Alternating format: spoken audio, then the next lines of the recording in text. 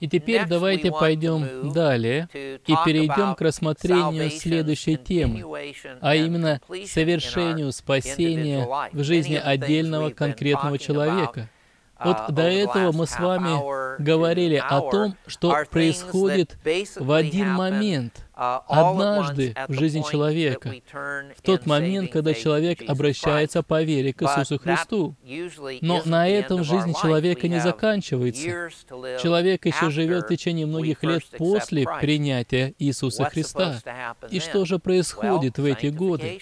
А происходит то, что мы называем освящением. И для обозначения этого понятия используется много-много разных слов, как в Ветхом Завете, так и в Новом Завете.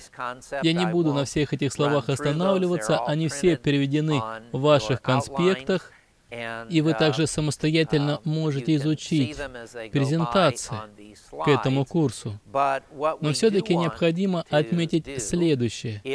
Можно говорить о двух разных аспектах освящения.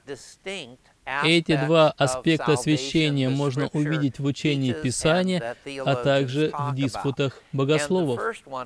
И первый аспект называется позиционным освящением. И uh, давайте попытаемся дать определение, о чем же идет речь. А речь идет о том, что в Иисусе Христе мы отделены для Бога. И это uh, отличается от оправдания, при котором происходит наше примирение с Богом, когда мы объявляемся невиновными. Здесь же говорится о том, что мы отделяемся в Иисусе Христе для Бога и становимся тем самым святым народом. И здесь не идет речь о нашем легальном статусе. Здесь говорится о нашей сущности, о нашей природе.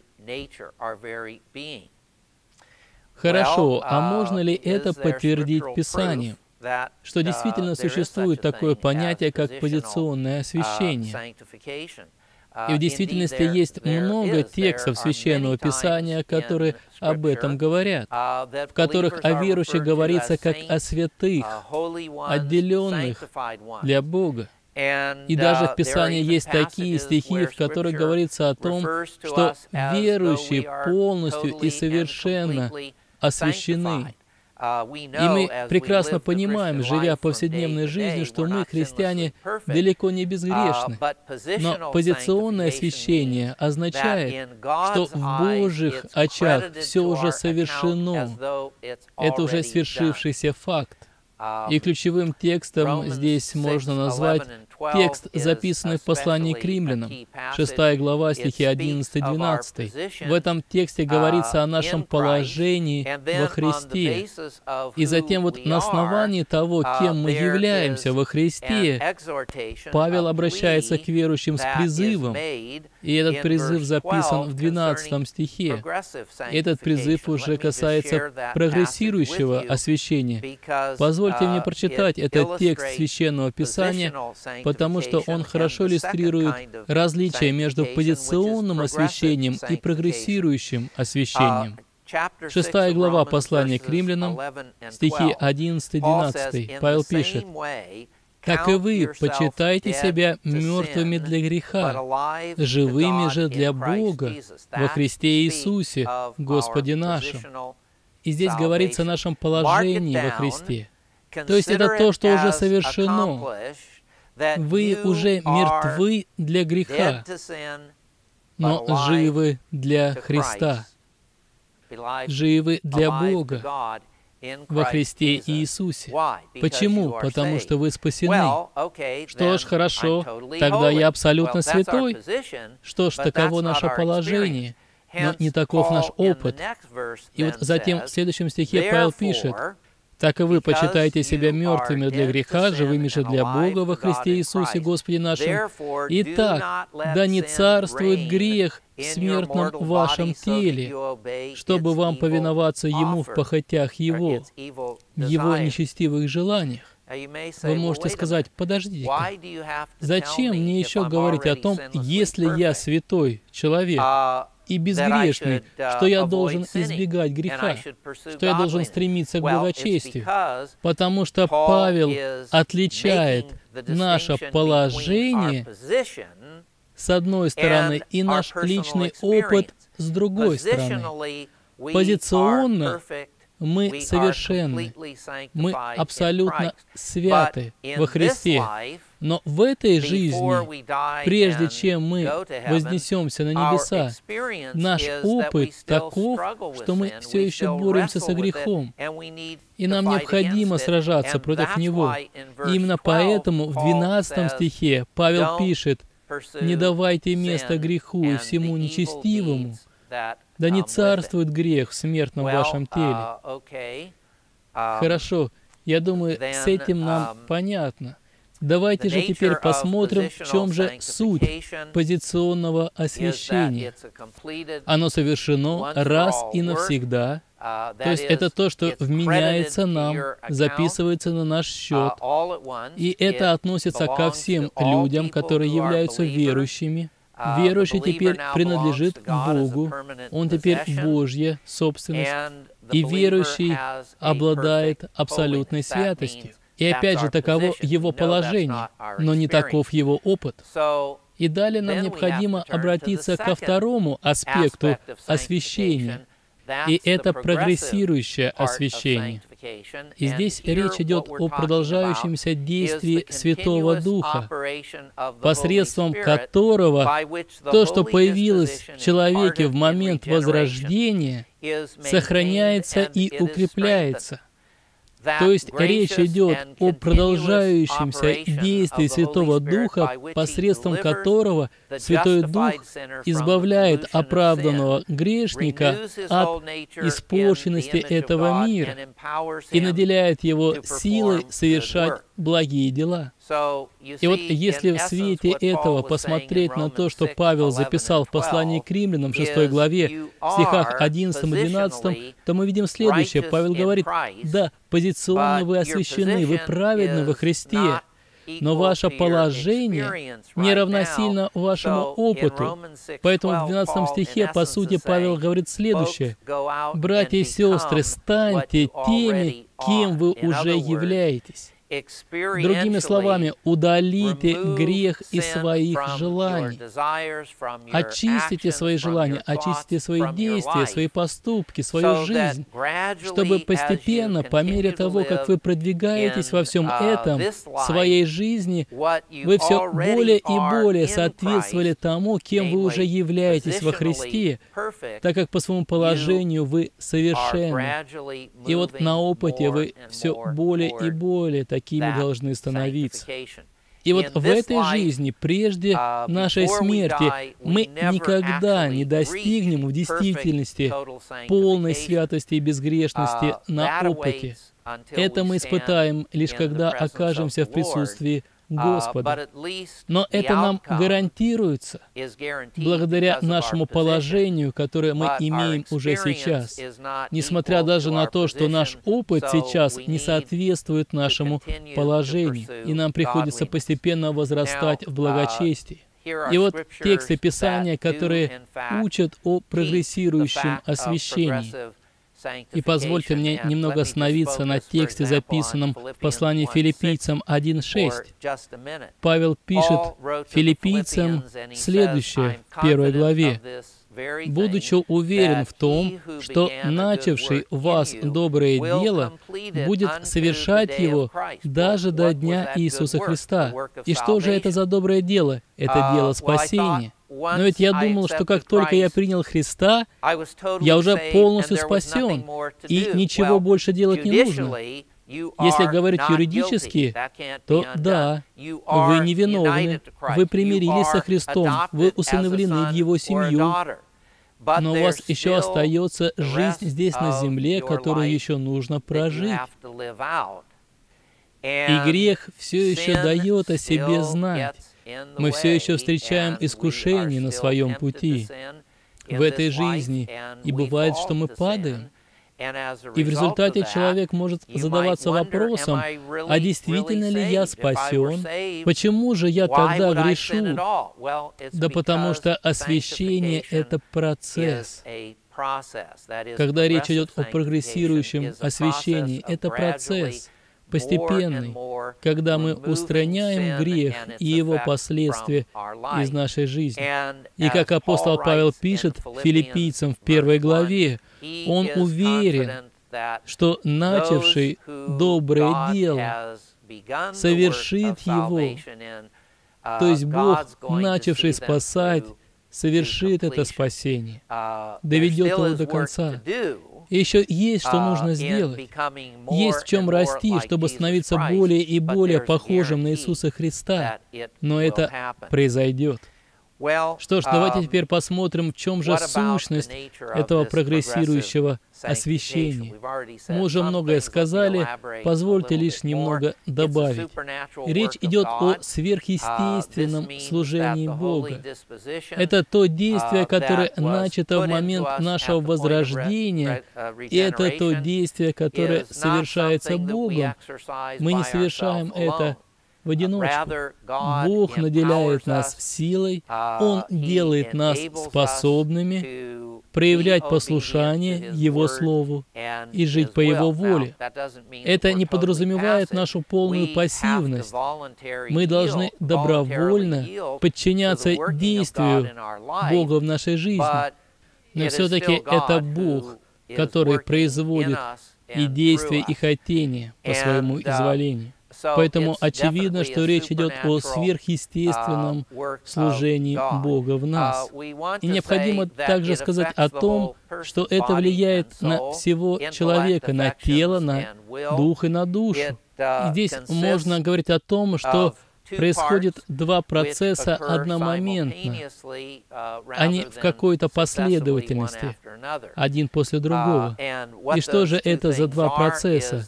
Это умоление ветхого человека, тела греховного, греховной нашей плоти, когда Бог постепенно уменьшает влияние испорченности в нас, в нашей человеческой природе. И во-вторых, речь идет о усилении влияния новой природы, нового человека, который сотворен во Христе на добрые дела. И это также совершает Бог. И в Писании подразумевается об этом новом человеке, когда мы читаем, что мы воскресли со Христом для новой жизни. И об этом мы читаем в 6 главе послания к римлянам, стихи 4 и 5. Это послание к Колоссянам, 2 глава, стих 12, и также Колоссянам 3 глава, стихи 1 и 2. И, как мы уже сказали, этот uh, процесс вовлекает всего uh, человека, всю его природу. И uh, этот процесс необходим и об этом стоит сказать, что этот процесс необходим, потому что, несмотря на то, что во время возрождения человек освещается, получает оправдание, в нем все еще остаются тенденции и помыслы к греху, которые могут влиять на его поступки. И об освящении можно также сказать и то, что не всегда оно развивается непрерывно. То есть не всегда мы лишь возрастаем в своей святости. Было бы здорово, если бы в нашей христианской жизни никогда не было бы падений. Но мы знаем, что падения случаются. Мы можем расти, но потом мы спотыкаемся, мы совершаем грех, и затем нам необходимо каяться и продолжать свое путешествие, свое восхождение на духовную вершину. И мы понимаем, что процесс освящения в этой жизни никогда не достигнет своего пика, своего завершения мы никогда не достигнем uh, состояния полной безгрешности. В этой жизни всегда будет оставаться место для роста, чтобы быть больше и больше похожим на Христа. Что ж, затем мы можем сказать следующее. Бог производит освящение в нас посредством пребывающего в нас Духа Христова. Нам лишь необходимо смириться, подчиниться Ему и позволить Ему производить свое um, действие в нас. И тот инструмент, если uh, можно так сказать, который использует Святой Дух, это наша вера. Uh, если мы перестанем верить в Христа, перестанем уповать на Него, uh, обратимся от Него, станем глухими к водительству Святого Духа, то и ничего и не произойдет. И также необходимо сказать о результатах прогрессирующего освящения. Писание об этом нам говорит. Это воздержание от плотских похотей, пригодность для служения Богу, общение с Иисусом Христом и плод Духа. В пятой главе послания к Галатам апостол Павел отличает плод Духа с одной стороны от плода плоти с другой стороны. Можно много чего еще добавить к теме освящения, но практически все напечатано в ваших конспектах. Вы можете самостоятельно со всем этим ознакомиться. И далее мы обратимся к другой теме, к теме сохранения святых. Большое дело начинается с малого пожертвования. И пятью хлебами можно накормить пять тысяч человек. Поддержите наш проект молитвой и финансами. Информацию, о чем молиться и как пожертвовать, вы можете найти на сайте tvseminary.com. Хорошо. Далее мы с вами рассмотрим тему сохранения святых. Иногда эта доктрина называется доктрина о вечной безопасности. И речь идет о вечной сохранности спасения человека. То есть говорится о том, что человек сохранит свое спасение до конца своей жизни. То есть сохранность святых подразумевает непрекращающееся действие Святого Духа верующим, благодаря которому то действие, которое совершено по благодати в сердце верующего, продолжается и в итоге приведет к завершению. Uh, и здесь можно остановиться на нескольких моментах. Uh, Во-первых, необходимо сказать о том, что это целиком Божье дело. Если бы мы были предоставлены сами себе в вопросе веры, uh, то мы бы не были в состоянии сохранить свое спасение. Конечно, мы что-то делаем. Мы не можем быть пассивны в этом процессе, потому что Бог действует через нас. Uh, Но, по сути, наша роль заключается в том, что мы просто uh, позволяем Богу совершать Его дело в нас, чтобы хранить нас для Него.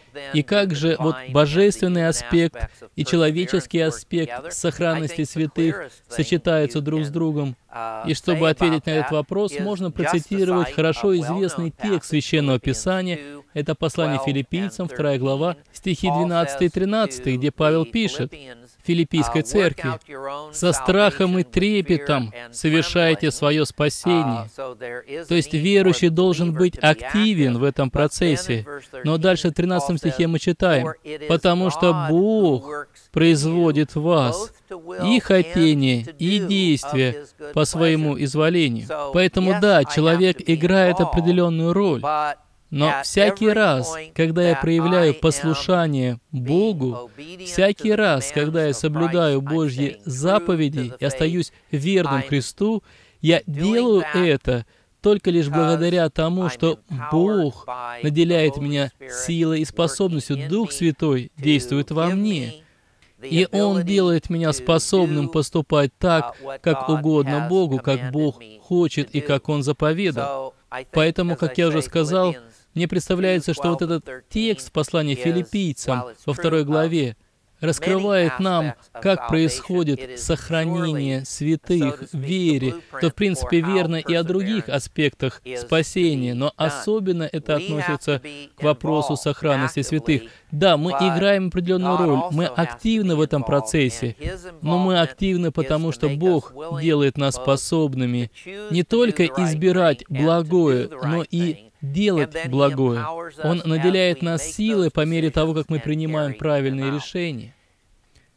И нам uh, также следует сказать о том, что природа вот этой сохранности святых такова, что оно распространяется только на тех, кто обладает спасительной верой в Иисуса Христа, когда присутствуют все три элемента — интеллектуальный, эмоциональный и волевой. А если мы говорим о тех, кто отрекся от веры, то можно сказать, что Спасительная uh, вера в них никогда и не присутствовала. Могло казаться, что они спасены, но на самом деле это представление было ложным. Понятно, что uh, так думают кальвинисты, и армяне этого не принимают и с этим не uh, соглашаются. И вы можете задать вполне резонный вопрос. Все звучит достаточно здорово. Получается, что я спасен раз и спасен навсегда. Но согласуется ли это с учением Писания? Да, согласуется. И вот перед вами тексты Священного Писания, которые об этом говорят. У нас нет uh, времени каждый текст читать, но вы видите здесь опять ссылку на шестой стих первой главы послания к филиппийцам, также послание к римлянам, 8 глава, тех, кого Он избрал, тех и прославил. То есть, если Бог предузнал, если Он вас предопределил, если Он призвал, если оправдал, то Он доведет до конца, и Он и прославит. Также вы видите послание к римлянам, 8 глава, с 31 по 39 стихи, где говорится, что ничто не может отлучить нас от любви Божией. 1 Петра, 1 глава, в ней говорится о том, что мы, будучи верующими, несмотря на то, что встречаем на своем пути испытания, мы, проходя через них, лишь укрепляемся в вере, мы утверждаемся на своем христианском пути, и мы хранимы силой Божьей. Благодаря Богу мы остаемся Его детьми. По сути, Петр говорит следующее. Знаете, ваше спасение настолько же в безопасности, насколько Бог всемогущ. А если так, то нам не о чем беспокоиться, потому что Бог действительно всемогущ, и Он доведет вас до конца. И дело не только в том, что есть прямые библейские свидетельства, uh, которые учат нас о сохранности святых, потому что об истинности этой доктрины мы можем судить на основании других доктрин, которым учат Писание, к примеру, на основании доктрины избрания, потому что мы uh, избраны ко спасению. Бог установил спасти тех, кто будет спасен, а не тех, кто, возможно, отпадет и отречется от веры. Также мы читаем в Писании о запечатлении Святым Духом. Об этом записано в послании к Ефесянам, 4 глава, стих 30. И во времена Римской империи, а именно в это время писал апостол Павел свое послание к Эфесской церкви, если кто-то ставил свою печать, то тем самым он давал понять следующее. Во-первых, то, что дело совершено, он мог указывать на то, что это uh, его собственность, то есть собственность того, кто ставит эту печать. И также печать свидетельствовала о защите. Поэтому, когда Павел пишет, что мы запечатлены Святым Духом в день нашего искупления или в день нашего спасения, то он имеет в виду следующее. Передача спасения завершена полностью. То есть дело, совершенное Христом на кресте, завершено полностью. Мы приняли Христа как личного Спасителя, поэтому мы оправданы, мы усыновлены в Божью семью. Все это завершено. И Дух Святой, ставя печать на нашу жизнь, дает понять, что Он владеет нами, что мы Его собственность, и Он будет защищать и оберегать нас. А если все так, то как тогда мы можем потерять свое спасение? Спасение, которое даровано нам. Вы понимаете, что запечатление Святым Духом означает и гарантирует, что те, которые искренне верующие, не потеряют свое спасение. И также о сохранности святых можно судить по доктрине о Боге, потому что Бог верен своим обетованиям. Он всемогущ. 1 Петра, 1 глава, 5 стих. «Мы хранимы силой Божией». Наше спасение настолько же гарантировано, насколько Бог всемогущ. Поэтому не о чем беспокоиться, если вы приняли Христа как своего Спасителя. Непреложность Божьей воли. Бог не может так поступить, сначала сказать, ну, давай я спасу такого-то и такого-то брата или сестру, а затем спустя год или два изменить свое мнение и сказать, ну, я не хочу, чтобы он или она были частью моей семьи, поэтому я отвергну этого человека. Раз Бог избрал вас ко спасению, и в Писании мы читаем о том, что это произошло от начала вечности, Он не поменяет своего решения. И также об этом можно судить по доктрине о Божьем провидении. Есть определенные моменты и в доктрине о Христе, которые также подразумевают сохранность святых. И это божественность Иисуса Христа. Иоанна 10 глава, стихи 28, 29 и 30. В 28 стихе говорится о безопасности верующих, и в 30 стихе говорится о божественности Христа. То есть Христос сделает то, что говорит. А в Писании мы читаем о том, что Христос способен сохранить тех, кто Его. Итак, это то, что касалось доктрины сохранности святых.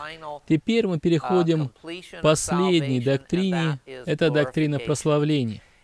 Здесь мы с вами осветим несколько моментов, а затем мы обсудим определенные схемы, которые uh, подытоживают все то, о чем мы с вами говорили. Uh, Прославление — это полное и окончательное искупление всего человека, когда в целостности тела и духа народ Божий будет преображен в образ воскресшего, вознесшегося и прославленного Искупителя, и состояние верующего становится равнозначным состоянию Христа. Вот на этом заканчивается процесс прогрессирующего освящения, потому что наше состояние становится равнозначным положению, в котором мы были поставлены в тот момент, когда мы приняли Христа как своего Спасителя. Хорошо, а учит ли этому Писание? Да, и вот перед вами стихи, которые это подтверждают. Когда же это происходит? Прославление на самом деле это процесс, который происходит в две стадии или в два этапа. Он не происходит в тот период, когда мы живем в теле на этой земле, но как только мы умираем физически, наша нематериальная сущность прославляется. Мы оказываемся в присутствии Божьем мы уже недоступны для греха. Грех не может коснуться нас. Но uh, затем позднее прославляется уже весь человек в тот момент, когда воскреснут наши физические тела и объединятся с нематериальной сущностью. И вот uh, перед вами стихи, которые об этом uh, говорят. Говорят о воскресении тел и о том, что спасению будет подвержена каждая составляющая природы человека. Что ж, хорошо. Но uh, а как же это происходит? Кто же все-таки прославляется и когда? И Писание учит о том, что есть определенный порядок, порядок прославления. Христос — это первый, кто воскрес из мертвых, кто был прославлен. Затем идет церковь, следующий. Когда будет вознесение церкви, как живущие, так и умершие будут воскрешены, и все будут прославлены. Потом святые во время великой скорби, перед началом царства, и также ветхозаветные святые перед началом Царства. И вот если последние два пункта вам не совсем понятны, не беспокойтесь. В курсе «Теология 3» есть раздел «Эсхатология». И этот курс доступен в виде семинарии Святой Троицы. И также те, кто родились во время тысячелетнего царства, когда Христос будет царствовать тысячу лет. И если кто-то из них умрет во время этого тысячелетнего царства, то вот в конце этого периода, или даже во время тысячелетнего царства, они будут воскрешены и прославлены. Это произойдет до того, как Господь разрушит нынешнюю землю и небо и создаст новую землю и новое небо. И, наконец, давайте обсудим результаты прославления. Или, если хотите, что же изменится после прославления? Для начала вспомним, что записано в первом послании Иоанна в третьей главе. Иоанн пишет, «Смотрите, какую любовь дал нам Отец, чтобы нам называться и быть детьми Божьими. Мир потому не знает нас, что не познал Его». То есть, очевидно, после прославления мы будем подобны Христу. Это не означает, что мы будем божественны.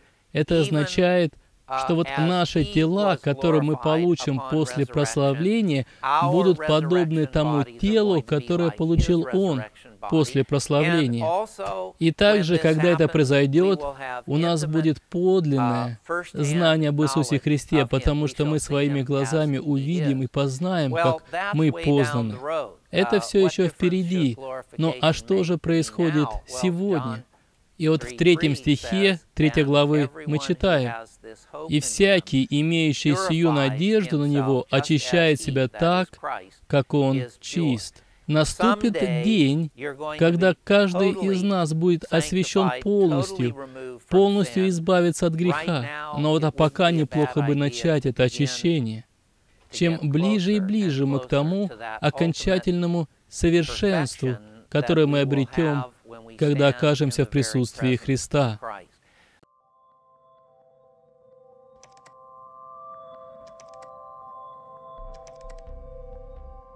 Ищите нас в поисковых системах по запросу ТВ-семинарий.